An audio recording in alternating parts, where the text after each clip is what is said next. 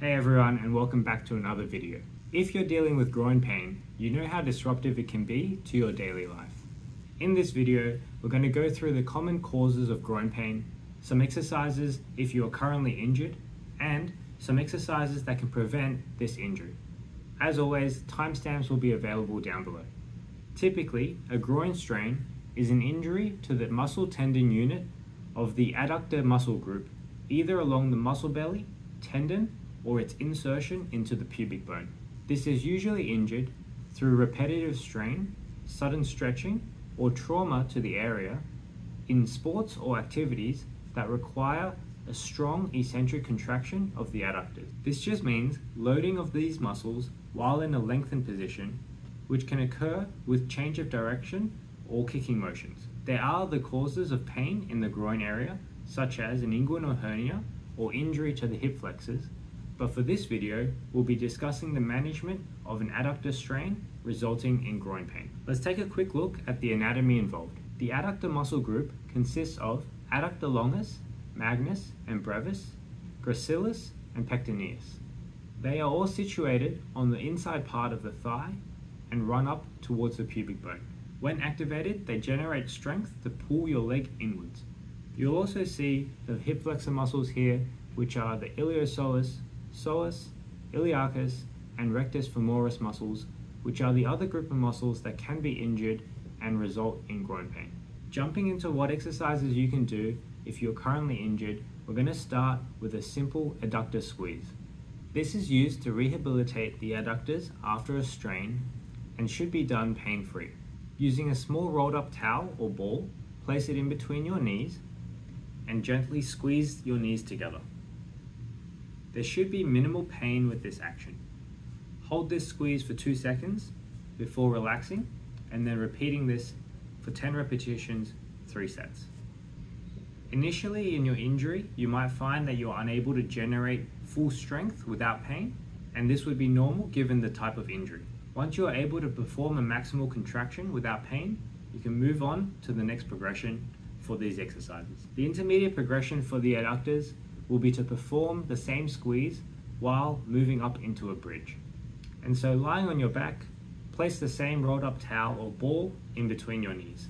Initiate the squeeze and while holding, lift yourself up into a bridge as far as you can without onset of pain. Then lower back down and relax the squeeze before repeating again. This will engage your adductors through more hip range and work them with more load. Repeat this for 10 repetitions, 3 sets.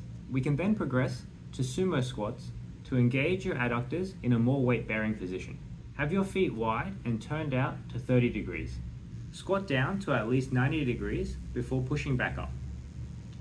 You should feel your inner thighs engage as you squat down, and you can make this more difficult by holding a weight between your hands as you perform the squat. Repeat this for 10 reps, 3 sets. If you're looking for some exercises to help prevent re-injury or injury of the adductors, this next section will cover three exercises that will progress in difficulty that can help with prevention. Side lying adductor strengthening will be our first exercise. To do this, lie on your side with the bottom leg straight. This will be our training leg. The top leg will be bent up and the foot will be placed in front of our moving leg. This will allow for some space for our bottom leg to move up. Lift up your bottom leg while keeping it straight by engaging your inner thigh. Then lower it back down and repeat. This will isolate your adductors and use them against gravity. Repeat this for 10 repetitions, 3 sets. Our intermediate progression will involve having your training leg supported by a bench or a friend. Place your training leg onto a bench to start off with, bent at the knee. Raise yourself up into a side plank, starting with the other leg touching the ground.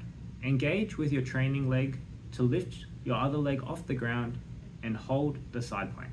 Then lower your other leg back down to the ground. Repeat this for 10 repetitions, 3 sets. This will be a much more forceful contraction of your adductors compared to lifting the leg inside lying. Our advanced progression will be almost the same as the intermediate progression, but this time you'll have your foot on the bench rather than just your knee. Once again, starting in a side plank, this time placing your foot on the bench, lift up your other leg while keeping your body straight, and then lower it back down. Repeat this for 10 repetitions, 3 sets. As the anchor point is further down the leg, your adductors will work much harder to lift your body up. If your groin pain is not elicited by performing an adductor squeeze, you may not have injured this group of muscles. In that case, you may be suffering from a different injury, such as an inguinal hernia or a hip flexor injury. As always, it is important to seek professional medical help to get assessed and treated properly. And that brings us to the end of this video discussing groin pain as a result of an adductor injury. I hope you've enjoyed the video and found it helpful. If you have, leave me a like and a comment down below.